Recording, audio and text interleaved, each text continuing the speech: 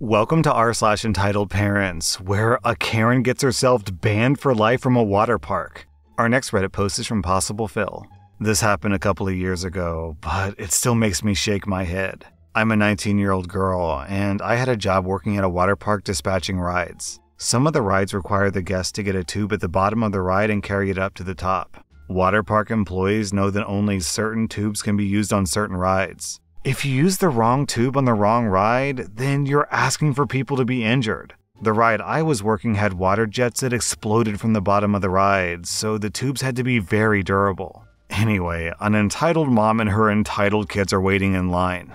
I can see that they grabbed the wrong set of tubes from the bottom of the ride. They have clear tubes, which aren't nearly durable enough for this ride, when they needed reinforced blue tubes. I go over to the mom and explain that she has the wrong tube for this ride. An example of the correct tube is installed right next to the entrance of the ride, so it's pretty clear which tube goes to which ride.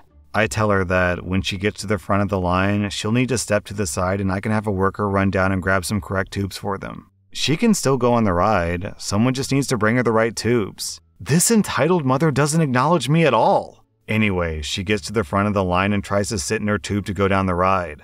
I say, Ma'am, I'm sorry, but this isn't the correct tube. I've radioed to have someone bring the correct tube up for you and your party, but I can't let you ride down this tube. It's not safe, and you can get hurt. Please stand to the side until your tubes get here. I waited in line. You can't tell me what to do. I'm going down the ride, so get the F out of the way. You cannot go down the ride in this tube. It's not safe.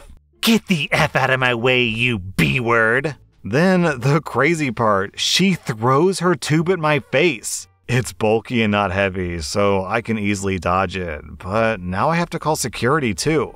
My manager was the person who was carrying the tubes up, and when he heard my call for security, he dropped the tubes and came sprinting up to me. The entitled mother was now destroying the landscaping around the top of the ride and was encouraging her kids to join in. How dare this B word make us wait? This grunt won't let you on the ride. I'm only 19, and I am not paid enough to put myself in harm's way, so I do nothing to stop her or her kids. She's literally pulling out grass and spitting in my general direction. I picked up the tube she threw at me, and I just sat on the side of the ride.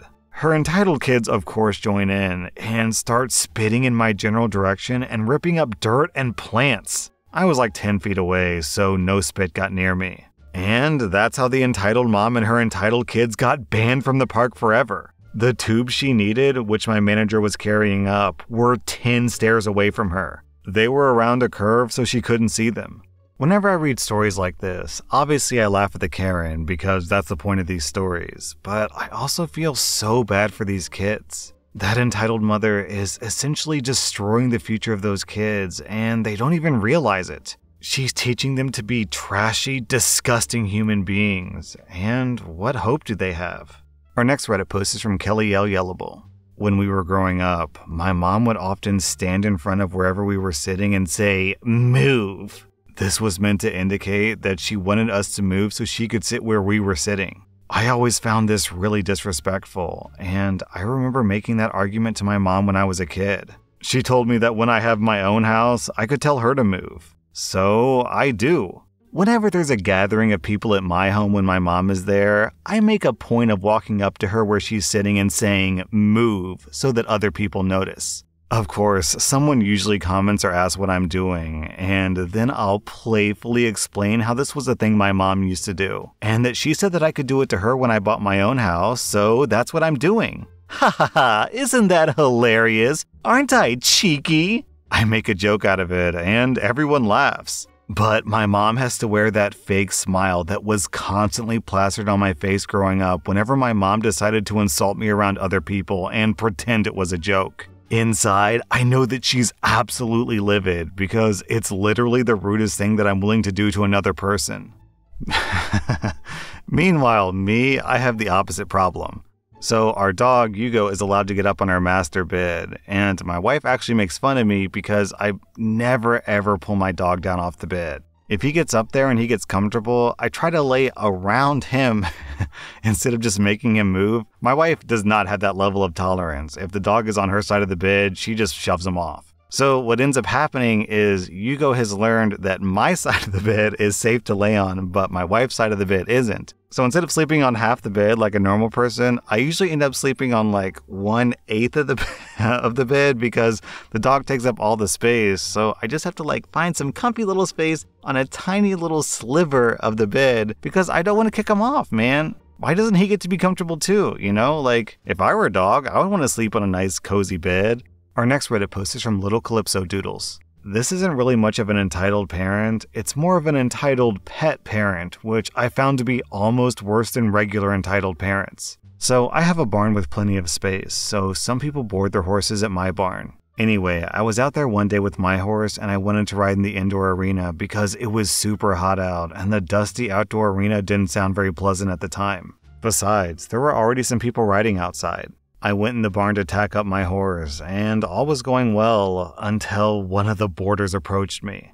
Can you please take your horse outside? My horse is relaxing right now, and he doesn't like other horses. I ask her, What do you mean? I look up and see that our horse is loose in the arena, rolling around in the dirt and whatnot. Honestly, just being a horse. Well, I rode him earlier, and he needs to relax. Ma'am, the rule board says that horses can't be loose in the barn when there are other riders in the area. There's a round pen for that. We usually use the round pen for warming up horses or for training foals, but it's way too small to ride in, which is why we let people let their horses loose in there. But it's so hot outside, and my poor baby can't handle that. Besides, everyone else is riding outside. Well, I don't allow horses to be loose in the indoor arena, so I would like you to either put your horse away or move it to the round pen. I do not make exceptions. Absolutely not. It's 90 degrees outside, and my baby can't handle that. Miss, it's just as hot in here as it is out in the shade. Please move your horse. I would like to ride my horse in my barn that I own. Why can't you ride it outside? Then I said to her in the same whiny tone that she used, It's 90 degrees out. My poor baby can't handle that. Then I said, It's my barn, and I would like to ride here while following the rules. So please, if you don't move your horse, I'm gonna have to do it for you. I honestly don't know what set her off, but she got all flustered and started ripping the tack off my horse. I paid a ride here, so I can do what I want with my baby. Ma'am, please don't do that. This tack is expensive. Not unless you let my horse relax in here where it's cool. I love horses as much as anybody, but it's just a horse, and they don't care if they're inside or outside, so please move your horse. No, it's too hot out there. It's abuse. It's abuse. It is too hot. You have to take your horse outside now. I pay to be here so I can do what I want. At this point, I am really pissed off. So I retack my horse, tie her up outside, grab a halter, and go in to take her horse out of the barn. She was super mad and she tried to hit me, but there were other people in there who were just finished riding. Help! This lady is taking my horse! Another boarder said, She owns the place. She's not taking your horse. I could hear your banter from outside. The other boarders kept her back while I moved her horse back to its stall. I handed her a rules pamphlet, and I told her that I expected her to have found a new barn by the end of the month. I honestly don't care that I lost a client. She was a B word, and I don't want that environment at my barn. Down in the comments, people are talking about how crazy horse people are, and we have this story from Black Swan.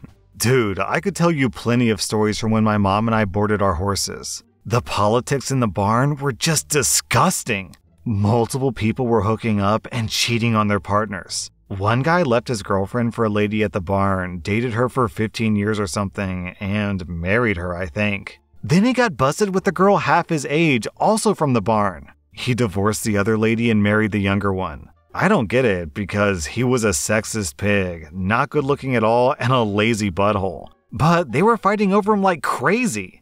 Our next Reddit post is from Australian Shepherds. So, I'm 20 years old, and I moved out of my parents' house two years ago, and I live in a house with two roommates. I am completely independent from my parents. I pay my own rent on my house, I have my own medical insurance, I own my own car, and I pay my own car insurance. I don't even have to ask mommy and daddy for grocery money.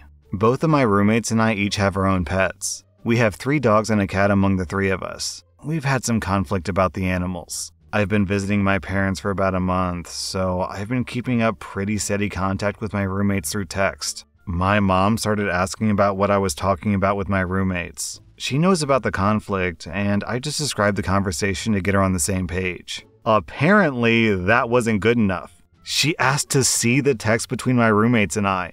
She also asked to see my text from a few nights before, and then she picked apart every word and made me feel terrible. So I said no. I told her that she shouldn't have to see her 20 year old daughter's text to feel secure, and that I was setting a boundary and I would not be showing her my texts anymore. At this point, she started calling me immature, ungrateful, and secretive. I've been working remote while visiting, and I was on the clock during this conversation, so I just walked back to my desk. My mom went up to her room, slammed the door, and started screaming at my dad, She's a child! She's an immature child! over and over again. That's funny, OP, because stomping up to your room, slamming the door, and then screaming while the person that you're mad at is just busy doing work is like the most childlike thing that I've ever read. Alright, so this reminds me of a story. When I was, okay, keep in mind that I'm a millennial, so I'm a little bit older than probably most of my audience. And when I was a kid, the internet was kind of like young and new, and people were still trying to figure things out. And AOL Instant Messenger was like the main way that people communicated online. And also keep in mind, this was back during the era of like, never share your true name on the internet because the internet is filled with predators and murderers. And if you ever meet someone from online, they're guaranteed to like wear your skin as a suit. And so I wanted to sign up for an AOL Instant Messenger account. But since I was a kid, my mom was like, okay, I'll sign up for you because I need to know what your account is. And I'm going to set it up for you because the internet is so dangerous. Anyways, um, I had to come up with a username, and I don't remember what my username was. So let's just say it was YouTuber for sake of argument. So my mom was like, What's your username? And I say, Let's try YouTuber. And she types it in, and that name was already chosen. So my mom was like,